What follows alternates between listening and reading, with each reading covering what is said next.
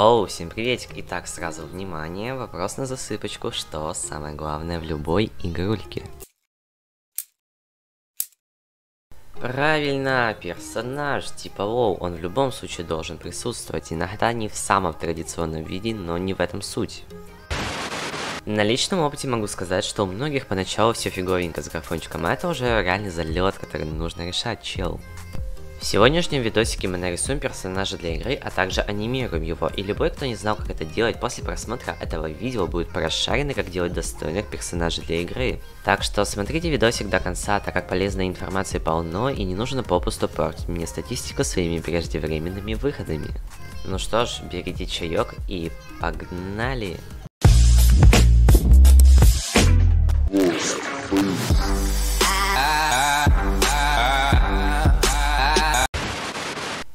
Ну, собственно, для начала нам нужен сам персонаж, который впоследствии будет анимирован. Рисовать мы будем в Gravity дизайнер. Типа, блин, к чему эти понты юзать Илюху, если есть куда более простой вариант?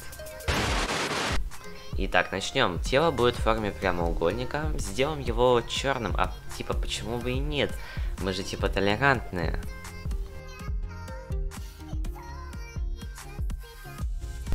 Дальше идут глазки, они будут беленькие и немного разного размера. Ну и чтобы у него было полноценное рыльце, добавим ему ротик. Теперь сверху создаем прямоугольник, меняем его цвет на красный и совмещаем с телом, чтобы лишние части были стерты и получилось что-то типа банданы. Далее сделаем хвостик банданы, чтобы можно было хотя бы догадаться, что это бандана, а не ему голову расфигачили. На очереди конечности. Начнем с левой ручки. Она будет овальной и немного светлее, чем сам персонаж. Дублируем лапку, переносим ее туда, где по логике будет вторая ручка, после чего убираем ее на задний план, чтобы она была за телом. Без ножек ему будет довольно-таки трудно, так что, пожалуй, стоит ему их приделать. Начнем с левой ножки. Она будет тоже овальной, но углы будут менее закруглены. Цвет будет как его ручек, но на краю ноги будет что-то типа обуви. Делать эту обувь мы будем, собственно, точно так же, как и бандану. Теперь дублируем вторую ножку и ставим ее на задний план. Немного изменим его размер, чтобы он казался привлекательнее и приступим к созданию тени. Это будет просто размытый кружок, так что не уделяем этому внимания. Пару штришков и все все, наш персонаж полностью готов. Прежде чем начать анимировать его, нам нужно экспортировать каждую его часть тела отдельно от других. Для этого мы делаем фон прозрачным, все части тела невидимыми, кроме одной, и изменяем размер холста под размер этой части тела.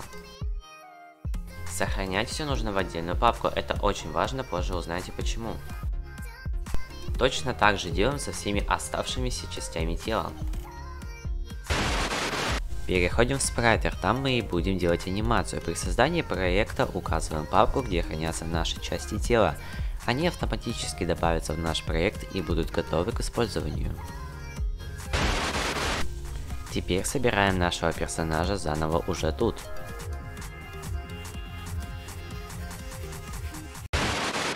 Итак, растягиваем эту хернюшку, выбираем 600 кадр и передвигаем тело вместе с рожицей немного вниз. Вертим хвостик банданы и немного перемещаем его. А тень сделаем немного больше. Запускаем, видим вроде прикольно. Сделаем еще, чтобы ручки качались из стороны в сторону. Ну, теперь вообще идеально. Классно, вообще. Назовем эту анимацию Idol и приступим к остальным. Точно таким же образом делаем и остальные анимации. Бег, прыжок и, короче, там, где он, короче, как дебил, э, как тиктокер танцует, ну, типа, когда он катку затащил, не суть. Ну, типа, видите, крутяк получился тоже вообще идеально.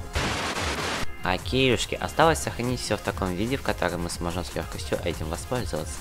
Выбираем нужную анимацию и экспортируем ее, галочку оставляем на месте, так мы получим каждый кадр в отдельной картинке, что нам как раз таки и нужно. Проверяем все чики-пуки, все кадры на месте. Ну, на этом, собственно, все. Я надеюсь, все всем понравилось, и это заслужит лайкосика и комментарий, ну и, естественно, подписочку. Ну, а я с вами прощаюсь, всем покедова.